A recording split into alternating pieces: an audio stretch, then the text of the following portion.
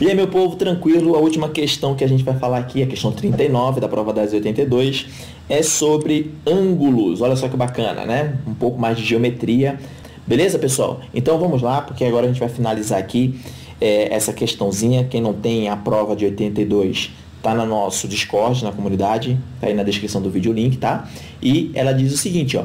Se dois ângulos são suplementares, a gente estudou isso aqui no canal, tem uma playlist falando de ângulos, né? Na parte de geometria plana. Eu tenho aqui, pessoal, o seguinte, ó. Dois ângulos, vou chamar aqui de A e B, eles são suplementares. Isso quer dizer que a soma deles é 180. Se fosse complementares, seria 90 aqui, mas são suplementares.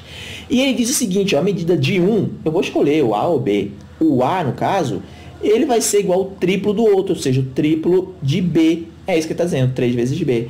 Aí ele pergunta, né? Então as medidas dos ângulos são quem é A e quem é B. Vamos resolver, isso aqui é um sisteminha bem simples, onde, por exemplo, a gente já diz aqui que A é 3B. Ó, no lugar do A, vou colocar 3B e resolvo a minha equação de uma maneira bem rápida.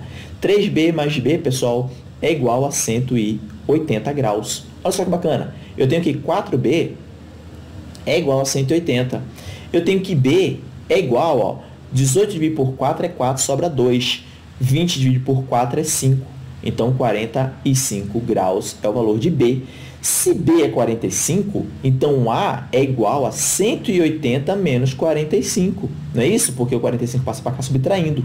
180 menos 45, pessoal, é igual a 135 graus. Olha só que bacana, o A é 135 e o B é 45. Vamos ver se está certo, seria a letra D. O resultado bate com a nossa solução. E pessoal, é com muita satisfação que eu encerro aqui a prova da ESA de 1982.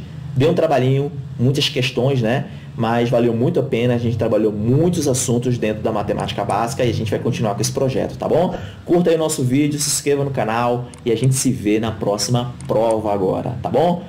Valeu pessoal, grande abraço, até mais.